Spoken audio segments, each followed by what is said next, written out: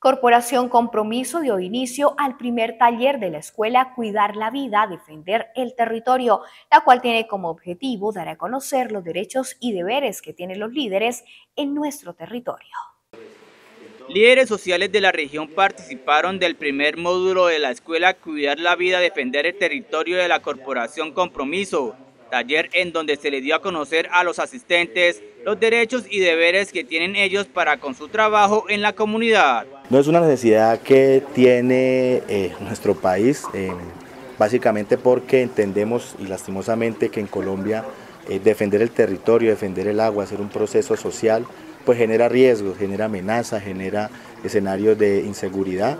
No en vano, pues, como dice la JEP, los líderes ambientales, líderes ambientales son los más amenazados en Colombia.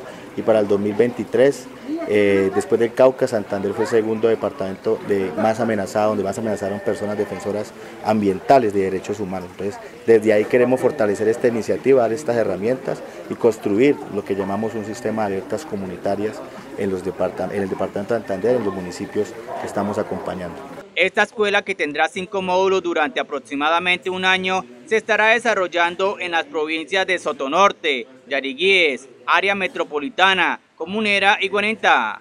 Hay demasiados líderes ambientales comprometidos, líderes ambientales comprometidos, personas que defienden el territorio. No en vano vemos movilizaciones en defensa de, los, nuestros ríos, como por ejemplo en Mogote, la defensa del río Mogoticos, haciendo pues también frente a estas pequeñas centrales hidroeléctricas, la defensa de las ciénegas en la provincia de Yariguíes. Aunque tenemos muchos liderazgos en este momento defendiendo nuestro territorio y líderes y lideresas en potencia. Hemos encontrado que se movilizan niños, niñas y adolescentes que están ahí acompañando a sus padres, a sus madres y que están interesados por el cuidado del ambiente. Entonces esa radiografía en cuanto a liderazgos ambientales, sociales, pues es muy positiva, pero la idea de este escenario, de esta escuela, es dar las herramientas para que el Estado les dé garantías de permanecer en sus territorios defendiendo el territorio.